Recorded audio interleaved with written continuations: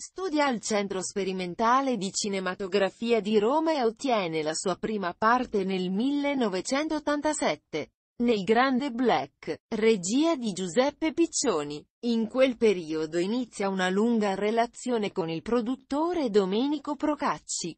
In seguito lavora nel 1988 in Bancomat con Bruno Ganz e per Luigi Comencini nel 1989 in Buon Natale, Buon Anno, ma si impone alla critica ed al pubblico grazie alla recitazione ed anche alla sua bellezza eterea, e dal suo sguardo distante con il controverso L'età di Lulu. 1990, regia di Bigas Luna, che la fa conoscere anche al pubblico spagnolo. Nel 1991 è la protagonista in Pensavo fosse amore. Invece era un calesse di Massimo Troisi, che le porta il primo nastro d'argento.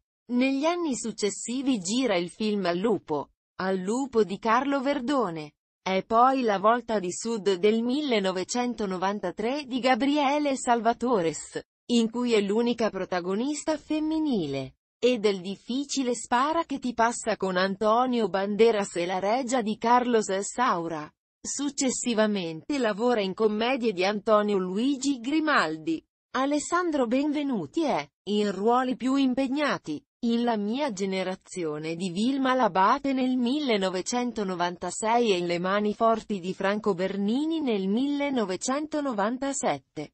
In questi anni, dopo una lunga relazione con il produttore Domenico Procacci, si lega all'attore Claudio Amendola, dal quale a fine anni 90 avrà un figlio, Rocco. Sempre in quest'anno interpreta Elena, la protagonista femminile di Carne tremula di Pedro Almodovar e vince il secondo nastro d'argento. Come migliore attrice. In seguito tiene dei buoni ruoli in matrimoni di Cristina Comencini nel 1998 e, l'anno successivo, nel dolce rumore della vita di Giuseppe Bertolucci e di Nio Amo Andrea di Francesco Nuti.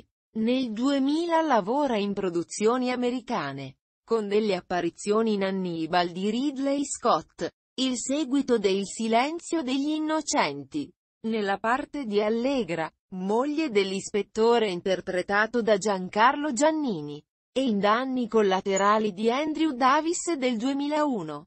In seguito gira alcuni film con registri stranieri. Hotel di Mike Figgis, Ginostra di Manuel Pradal. Nel 2002 gira La felicità non costa niente di Mimmo Calopresti e l'anno successivo interpreta una presentatrice senza scrupoli in Il siero della vanità di Alex Infascelli. Dal 2006 inizia a collaborare con Pupi Avati, che la dirige nella cena per farli conoscere. Con la regista bolognese lavora di nuovo nel 2008 interpretando il difficile ruolo di Delia, madre di Giovanna, in Il papà di Giovanna. Per tale interpretazione vince il nastro d'argento alla miglior attrice non protagonista. Nel 2010 è coprotagonista con Fabrizio Bentivoglio in Una sconfinata giovinezza, nel quale ricopre il ruolo di Francesca, una professoressa il cui marito è affetto dalla malattia di Alzheimer. Inizia a lavorare come produttrice nel 2005, debuttando con il film Melissa P. Nel 2008 produce anche Riprendimi di Anna Negri.